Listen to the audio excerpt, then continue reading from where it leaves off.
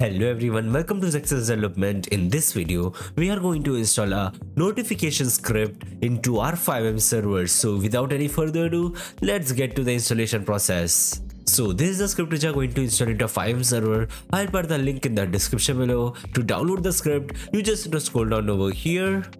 Then click on this GitHub link. Then click on code and download the script. After downloading it, we just need to extract the file into our file resource folder. So I'll be extracting it over here. Just like this. Now rename the file and remove the main from the name. Now open the file. Open the installation folder. Go to QBCore. Then copy this file from here. Now open the QBCore and paste that file over here.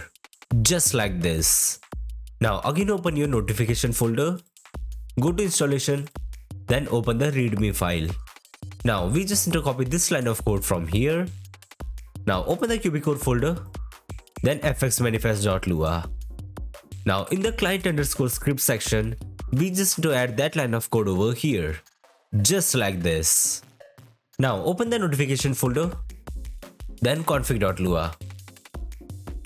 From here you can configure the color of your notification system, so I'll be keeping it default for now. So that's it for the installation part. Now let's start the server. So we are in our server now. Now let's test the notification system over here. First, let's change the time of the server.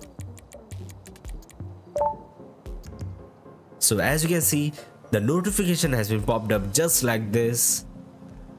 Now let's spawn a car. So this is the error message over here and this is the success message as you can see. And there are more and different type of notification will pop up in this script. So yes guys that's it for today's video. I hope you enjoyed the video. If you enjoyed the video make sure to like the video and subscribe to the channel for more videos related to FiveM development. Goodbye